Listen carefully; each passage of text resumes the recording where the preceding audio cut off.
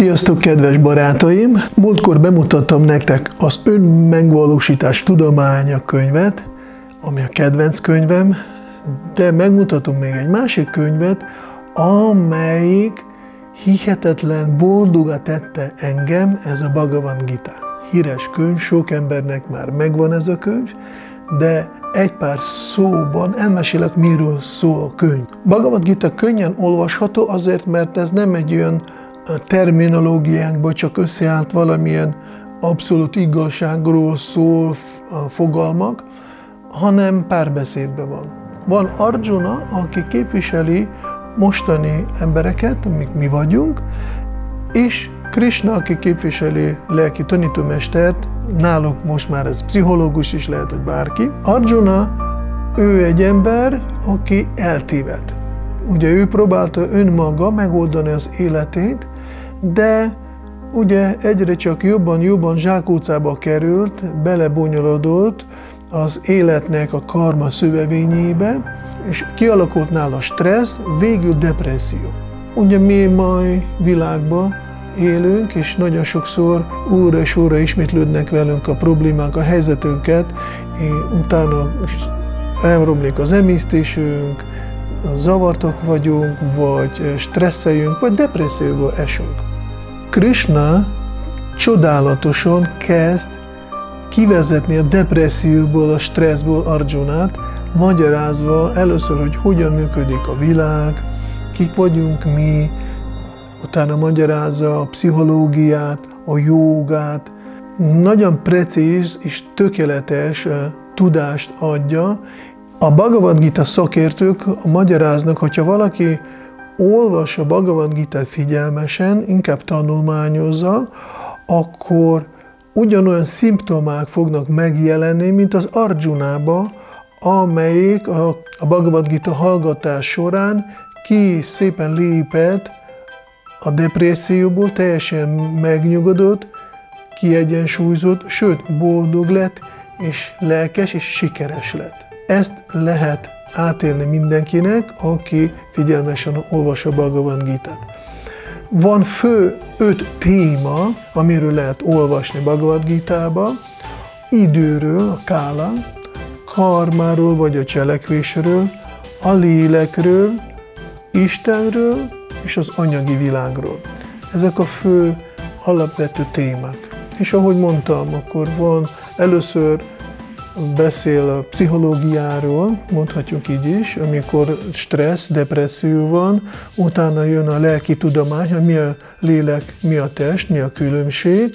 Ott is van érdekesen felépítve pszichológia, hogy hogyan működnek a gondolatok, hogy hogyan irányítatlan a gondolat történik az emberbe, ez a második fejezetben beszél, utána harmadik a buddhi jogáról beszél, ugye intelligenciának a jogáról, a negyedik a transzendentális tudásról beszél, akkor az ötödik a karma jogáról, a hatodik fejezet beszél a jogáról, a dhyana jogáról, a meditációról, astanga jogáról, főleg arról beszél, hogy hogy működik az elme, és arról tanít, hogy elme fő eszköz, amelyikkel dolgozik a joga, és ez a legfontosabb. Nekünk, ahogy tanítja Bhagavad Gita, legfontosabb elmünket, és az elme legyen a barátunk.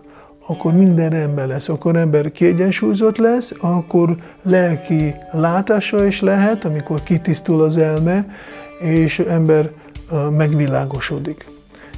Ugye ez a hatodik fejezet, és utána jön a szeretet jogája, a hetedik fejezettől egész tizenkettedik fejezet végig a szeretet jogáról beszél Krishna, ugye, Bhakti Yoga, és Susukam Kartum Avyayam, arról beszél, hogy ez az út, ez a gyakorlat nagyon-nagyon nagy boldogságot ad.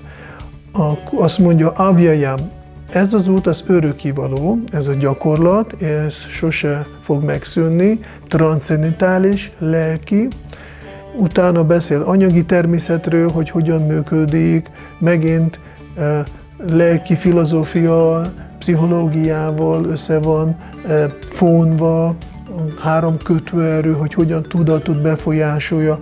Szóval ilyen zseniális dolgokat lehet itt olvasni, hogy én mindenféleképpen ajánlom mindenkinek legalább egyszer életében figyelmesen elolvasni ezt a könyvet, sőt, hogyha valaki szeretne jobban tanulmányozni, akkor a YouTube csatornámon van egy egész playlist, ahol lehet tanulmányozni velünk együtt az egész Bhagavad Gita-t.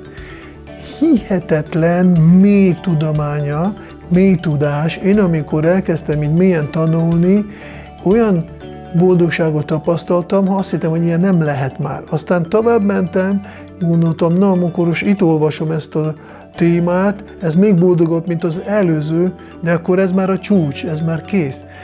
Utána gondolom, na, nem lehet. Akkor lehet abba hagyom, mert már, már, már minden extatikus boldogság dolgot megkaptam Bhagavad Gitától, és utána folytattam, és még és még. Utána megijedtem, úristen, annyira csodálatos, annyira zseniális ez a könyv, hogy lehet, hogy a, a végén, hogy a, ahogy a végére jutok, meg is hallok a boldogságtól, nem fogok túlélni annyira jó. Nekem személyesen úgy segített, emlékszem, 90-es években volt nagyon-nagyon-nagyon mély pontom. Nagyon. Lelkileg átfordult, én mindig hittem Istenbe, de, de olyan mély pontra fordult az életem, hogy az anyagi tudat teljesen megerősödött, szétszedte a tudatomat, és a lelki tudat le volt csökkenve. Én csak egyet csináltam, leültem, olvastam a Bhagavad Gita-t, de egy hónapig, minden nap, több órát, és egy, há, első három nap nehéz volt. Annyira anyagias volt a tudatom, de utána, ami történt, napról napra tapasztaltam, hogy ez az anyagias tudat, ami fönt volt nagyon, és a lelki lent volt, ez így kezd így változni, változni, és akkor végül megváltozott, és azóta tart. Hihetetlen könyv. Hogyha kíváncsiak vagytok egy rövid történetre, írjátok kommentekbe, majd mesélek nektek egy történetet, akkor írjátok, hogy Bhagavad Gita, Srila Prabhupada történetről akarunk hallani. Jó, és akkor majd akkor mesélek. Még egyszer ajánlom ezt a könyvet. Ez nem biznisz most, hanem ez egy könyv, ami tényleg segít az életében mindenkinek. A képernyő alján ott van az e-mail címem, a telefonszámom, lájkoljatok a videót, iratkozzatok fel a csatornára, mindenkinek sok boldogságot kívánok. Hare Krishna!